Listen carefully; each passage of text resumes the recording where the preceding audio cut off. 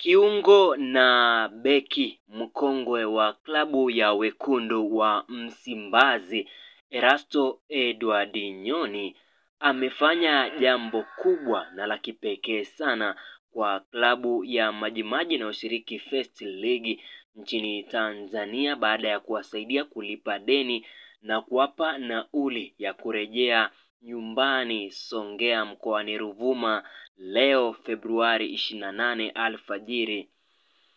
Taarifa ikufikeni kwamba baada ya kusota Dar es Salaam kwa takribani wiki mbili, hatimaye Majimaji inatarajia kusafiri kurejea Dar eh, kurejea nyumbani Songea leo Februari 28 alfajiri baada ya beki wa Simba Erasto Edward Nyoni kutoa nauli na kumaliza deni lililokuwa limebaki hotelini. Majimaji iliyokuwa imekwama jijini humo tangu ilipomaliza mechi yake dhidi ya Afrika Lyon kabla ya kucheza tena mchezo wake wa juzi dhidi ya Dar City kutokana na kukosa pesa ya nauli na deni katika nyumba ya kulala wageni.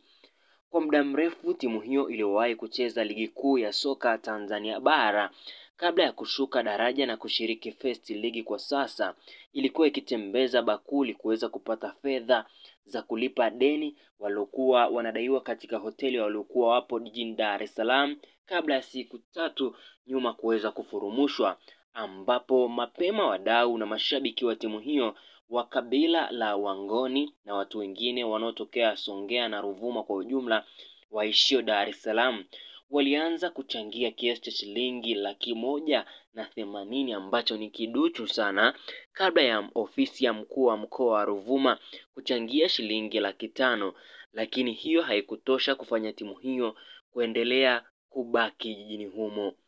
Jana hiyo Erasto Edward Nyoni ambaye Jumamosi alikuwa na wenzake katika timu ya Simba walipokuwa wakicheza mchezo wa ligi ya mabingwa barani Afrika kule katika dimba la St Mary Uganda, ambapo timu ya Simba ilibuka na ushindi wa goli moja kwa sifuri na kuipa alama tatu muhimu. Erasto Edward Nyoni siku ya jana alifika eh, kambini kwa timu hiyo na kulipa takriban shilingi milioni moja ikiwa ni male, malipo ya deni lilokuwa linadaiwa hotelini pamoja na kuwapa nauli wachezaji na viongozi kumi waliokuwa wamekwama Dar es Salaam. Katika pesa hiyo ambayo tuliipokea awali, tulisafirisha baadhi ya wachezaji sita na hivyo na matumizi mengine tukabaki na kumi hapa Dar es Salaam, lakini tunashukuru sana Nyoni amekuja kulipa kila kitu na kesho tunarudi nyumbani, amesema Catherine Masasi ambaye ni kiongozi wa timu hiyo. Ndio taarifa ambayo imetufikia Mtika Spoti, ambapo mchezaji wa klabu ya Simba Erasto Edward Nyoni na beki Kitasa kiungo ambaye unaweza ukamweka popote na akafanya makubwa kwa uwezo na kwa ubunifu wa kipekee, ameweza kufanya jambo la kuwasaidia